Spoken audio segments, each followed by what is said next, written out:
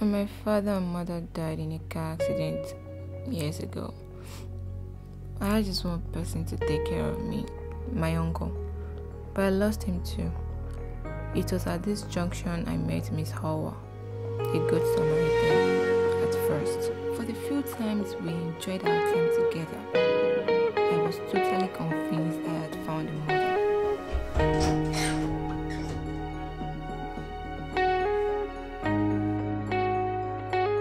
She promised to give me everything that would make a sorrowful forget her sorrow. to be the mother I lost.